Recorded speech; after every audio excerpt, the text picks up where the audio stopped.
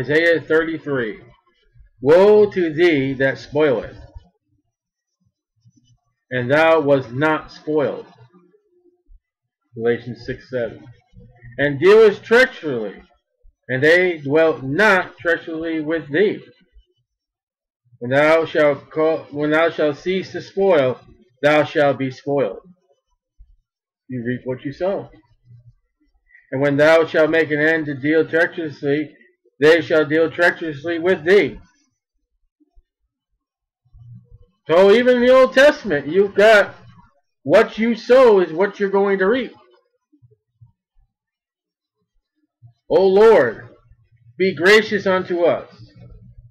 We have waited for thee, but thou be thou their arm every morning. Our salvation also is in the is in the time of trouble. Daniel 12:1. So one verse we speak about man men who do wrong. Then we go reaching out to God. At the noise of the tumult, the people fled. At the lifting up of thyself, the nations were scattered. God standing up. When he stood up with uh, Stephen, then he sat back down. He'll get up for the second advent. And he'll scatter the nations, the sheep and the goat nation. And your spoil shall be gathered like the gathering of a caterpillar. Destructive animal when it comes to crops. As the running to and fro of locusts shall he run upon them. Locusts will go and devour everything and anything. The Lord is exalted, for he dwelleth on high. He has filled Zion with judgment and righteousness. And wisdom and knowledge shall be the stability of thy time, and strength of salvation. The fear of the Lord is his treasure. See Proverbs chapter 1, verse 7. Behold, the valiant one shall cry without. The ambassadors of peace shall weep bitterly. The highways lay waste, no one on them. Destruction. The wayfaring man ceaseth. He has broken the covenant. He has despised the cities. He regardeth no man. Now you're in trouble. The earth mourneth and fadeth. Eh, language. Lebanon is ashamed and hewed down. Lebanon is the place where they got all the trees. Cedar trees. Sharon is like a wilderness. Not much to do with wilderness. Death. And Bashan and Carmel shake off their fruits. It's not people picking them. Their own. The fruits are falling without being picked.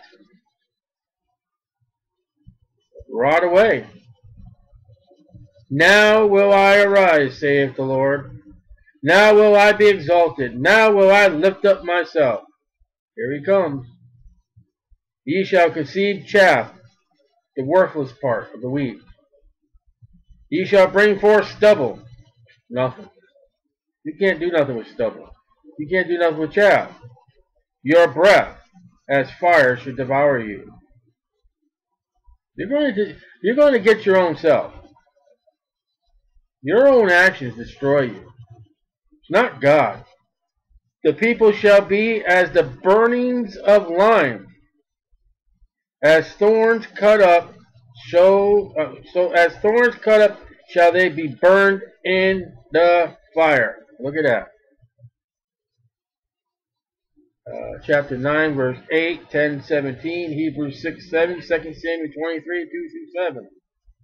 Hear ye that are far off, when what I have done, and ye that are near, acknowledge my might. You know, those that are far off can't see what happened, those that are near saw what God can do.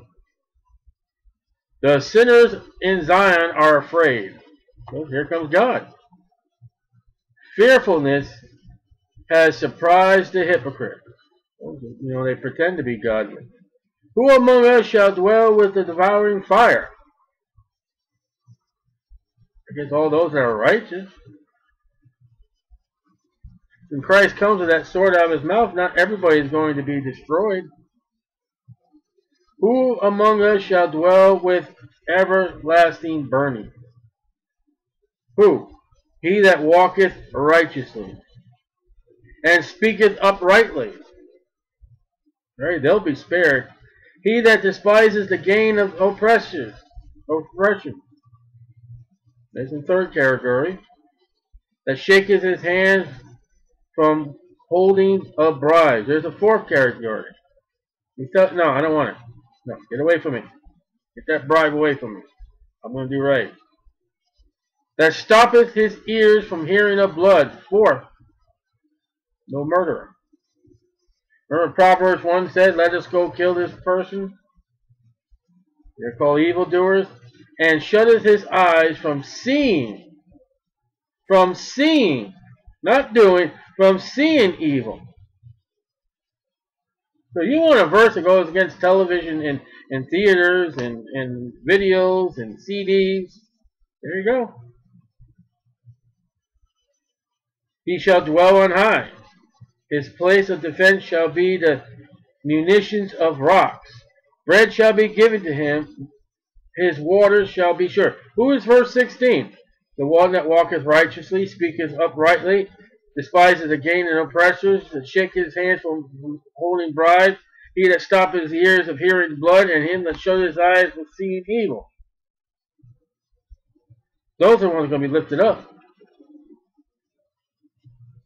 So tribulation, you're going to have unrighteousness. You're going to have people speaking unrightly. You're going to have people who are going to cause oppression. You're going to have people full of bribes. You're going to have people murdering. Say they're going to be drinking the blood of the saints. And you're going to have people who are going to be watching evil probably be entertainment and tribulation under Satan to watch a, innocent person get robbed. Probably be entertainment to watch a woman get raped. Probably be entertainment for crimes. Listen, how many people today watch those newscasts when all these riots have been happening, and they just sit there and watch it and they don't do nothing about it? They sit there and watch. Thine eyes shall see the king in his beauty. Look at that. Who? The ones of verse 15. It's the King. It's the Lord Jesus Christ coming. That I shall see the King in his beauty. Bible says the first advent, he didn't come in beauty. Wait till he comes back. They shall behold the, the land that is very far off. What land? Jerusalem. very far off. Where are they? They're in Salapitra. Thy heart shall meditate terror. Where is the scribe? Gone.